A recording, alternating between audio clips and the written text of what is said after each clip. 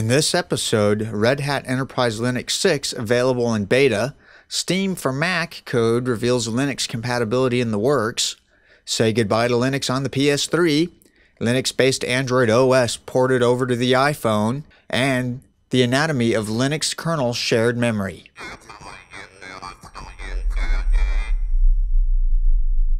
QuickSurf Internet Media presents Linux News Log, separating the Linux and open source signal from the noise.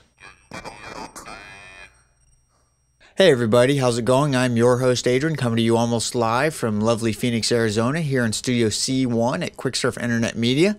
Linux News Log is a proud member of the Tech Podcast Network. If it's tech, it's here, so do feel free to head on over to www.techpodcast.com. And if there's anything you like in my shows, there's tons of other shows over there that carry uh, lots of interesting stuff as well.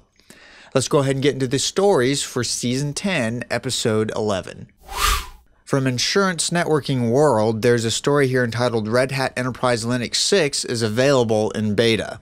It starts off insurers who rely on Red Hat for insurance technology optimization can now install, test, and provide feedback for what the company expects will be one of its most ambitious and important operating platform releases to date Red Hat Enterprise Linux 6. It's now available in beta. It blurs the lines between virtual, physical, and cloud computing to address shifts taking place in the modern IT environment. Features and updated core technology from the kernel to the application infrastructure to the development tool chain. Red Hat Enterprise Linux 6 is designed to meet the needs of the coming generations of hardware and software technologies. So, in short, it's available. Uh, by all means, go to Red Hat, check it out. Let's talk about our sponsor for this episode, GoToAssist Express. There are a variety of tools in the market that allow you to remotely support a client, colleague, or friend. But the only one I trust and rely on is GoToAssist Express, simply the best remote support tool designed for small to medium sized businesses, and it's brought to you by Citrix. So, why do so many IT professionals choose GoToAssist Express? The answer is simple it has exceptional performance, it's easy to use, and it's secure. IT professionals don't have time to squander with a tool that is slow or unreliable. With GoToAssist Express, you have no IT maintenance or updating. It's so fast, you'll be on the client's computer troubleshooting in seconds, and it's consistently reliable. I've used GoToAssist Express many times to support my clients while uh, they were on the other side of town and I couldn't get there, you know, fast enough to fix whatever their problem is if it was an emergency. So uh, it's it's been a real lifesaver in many instances. My listeners can try GoToAssist Express free for 30 days. For this special offer, visit gotoassist.com slash techpodcast.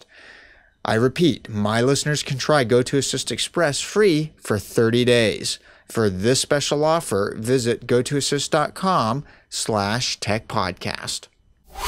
From TechSpot, uh, there's a story here entitled Steam for Mac Code reveals Linux compatibility is in the works.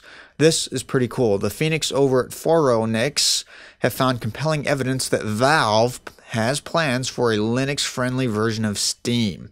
After rummaging through the bash launcher used by Steam for Mac OS X, the site discovered code referring directly to Linux, something that isn't present on the Windows version of Steam. You can view the script after the break. Uh, the launcher checks the platform so that the appropriate library path can be added to the respective environment variable for loading Steam's shared libraries needed by the client.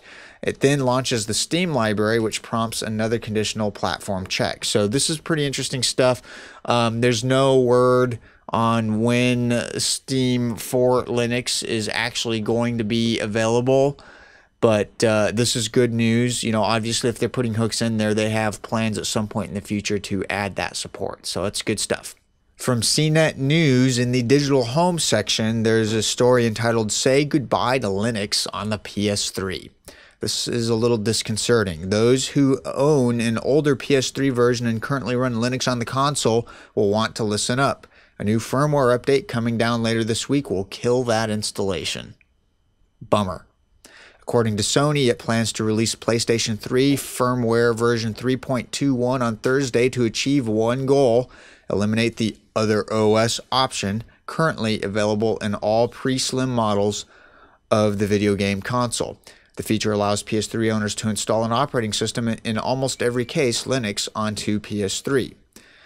So the decision to remove the other OS option is based on security concerns, according to Sony. Why would they do that? I don't know. Anyway, uh, for those of you who have the older PS3, this is bad news. Uh, you know, by all means, you may want to look at other options for running Linux. If you if you got to have Linux, it won't be on the older PS3 anymore. From Network World, uh, there's a story here: Linux-based Android OS ported to iPhone. This is pretty cool. A Linux a programmer has created a video showing a jailbroken iPhone running both the Apple operating system and a second OS, the Linux based Android firmware. The programmer is David Wong, who uses the handle Planet Being. Uh, in the video, he shows the first generation iPhone running normally, then shuts down. The port was done using a program Wong created called OpenIBoot, which he unveiled in late 2008 to port and run Linux 2.6 on the iPhone. So in the video, he presses the OpenIBoot console to begin loading the Linux kernel. Eventually, the Android logo appears on screen. In less than two minutes, Android is booted and Wong runs through a series of simple tasks such as associating to a Wi-Fi network, bringing up the browser, which ironically has Google as its home page, et cetera, et cetera, et cetera. So, uh, pretty interesting stuff. Um, you know, obviously, it'll be you know, for those of you who like Apple's hardware designs, not necessarily their operating systems, um, you know, this has potential to turn into a full on, you know, the iPhone hardware boots up into uh, Android. So I'll be keeping an eye on this, see what comes of it, and uh, we will definitely check it out from IBM's website, there's a story here uh, entitled, actually, it's a white paper. It's entitled Anatomy of a Linux Kernel Shared Memory. I thought I would include this uh, simply for those of you who may want to uh, educate yourselves on the inner workings of Linux. You know, I'm a geek. I'm always looking for technical, geeky stuff to read, even though I may not necessarily have a need or use for it. You, eh, you know, it always pays to expand your knowledge base. So uh, definitely check this out. Uh, it's pretty cool fairly in depth. It's pretty long, so uh, you know, but it's a good technical read for those of you who want it. That'll pretty much wrap up this episode of Linux News Log. As always, thank you for watching and listening. For those of you who do that, please uh, update your pod catchers uh, to the new RSS feed subscription URLs. The latest show notes have them. Um, and with that, I thank you and I'll see you all on the next episode. Follow me on Twitter, twitter.com slash Adrian underscore bacon. It's all linked up in the show notes. So I'll see you then. Bye.